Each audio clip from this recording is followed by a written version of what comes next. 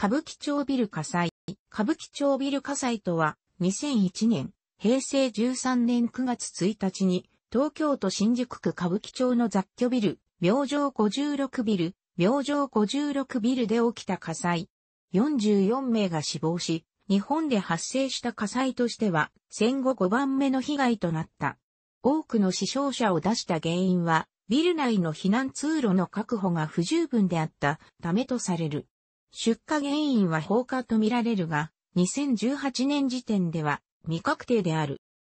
居合わせた客と従業員のうち、3階の19名中16名、4階の28名全員の計44名が死亡、3階から脱出した3名が負傷した。出火地点はビル3階のゲーム麻雀店、一級そばのエレベーター付近。ビル3階と4階のセクシーパブ、スーパールーズの防火扉が開いていたため、この2フロアに火炎と特に煙の周りを早めた子が被害を拡大させる一因となった。44名全員が急性の一酸化炭素中毒で死亡したことがそれを表している。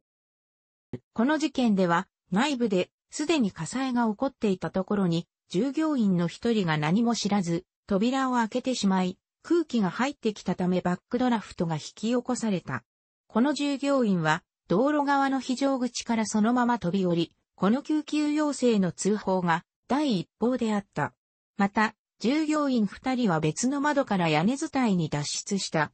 3階ゲームマージャン店で助かった3名は、事務所の窓から脱出した従業員であり、従業員という立場でありながら避難誘導しなかった。また、この際目撃証言から4人目の生存者がいたとされるが、この人物はその後行方をくらました。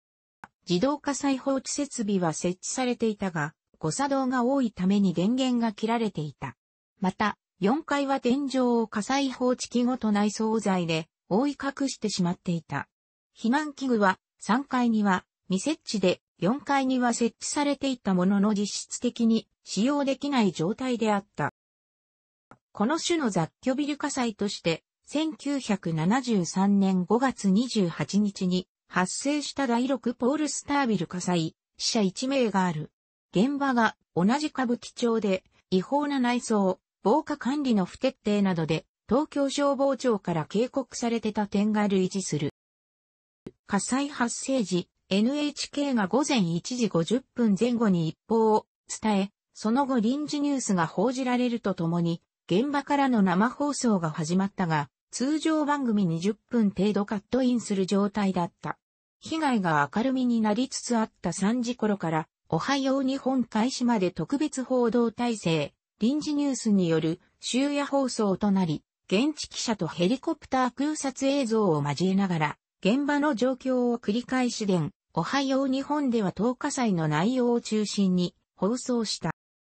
民放は深夜ということもあり、警察や消防発表をよりどころとした事実経過を簡単に伝えるのみであったが、被害状況の詳細が伝わるにつれ、こちらも NHK 同様に被害の大きさが分かってきた午前3時台以降、深夜番組を一部休止したり、カットインするなどして、各社とも臨時ニュースを伝えた。明けて、土曜早朝の時間帯も、通常の生情報番組内で内容を変更して、商法を伝えるつぼねや、レギュラー番組を休止して報道特別番組を編成するつぼねなど対応は様々であっ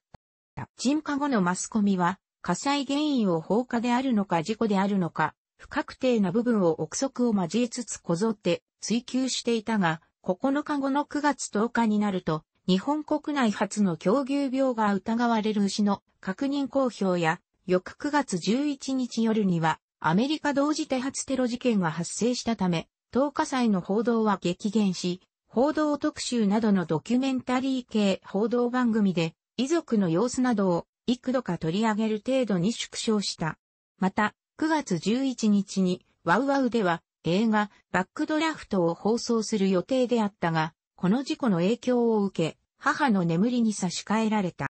当時アニマックスで放送されていたギャラクシーエンジェルの第21話、デコピザは、当初この事故の原因として、ガス爆発が疑われていたため放送が中止された。警察、消防の検証により、出火点は3階階段踊り場にある都市ガスのガスメーターボックス資金であることが特定された。ガスメーター本体はガス管から外れ、ボックス内の底面に直立した状態で発見されている。このガスメーターの状態が問題となった。火星によって配管をつなぐアルミ合金製の継ぎ手が溶融して落下したという説が有力だが、発覚前の段階でアルミ合金が溶け出すほどの温度に達するかに問いがあり、放火犯が故意に外したのではないかという説も飛び交い、連日メディアを賑わせることになった。また、出火時刻頃にビルから立ち去る不審な人物があったとの目撃情報もあったが、確証はない。このため、出火原因は未だに明らかになっていない。当該ビルは東京消防庁から使用禁止命令が出された。2006年4月18日に和解が成立したため、保全処分が解かれ、その後解体された。2008年7月2日、東京地方裁判所は、ビルオーナーら被告人5名を執行猶予付きの有罪とした。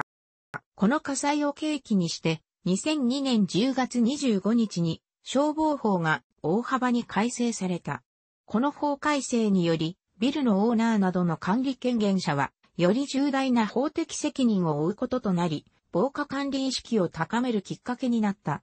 なお、有料に防火管理を行っていると認められる防火対象物には定期点検報告義務を免除する特例認定を受けることができるとされている。特例認定を受けた場合には防火有料認定証を掲示できる。楽しくご覧になりましたら購読と良いです。クリックしてください。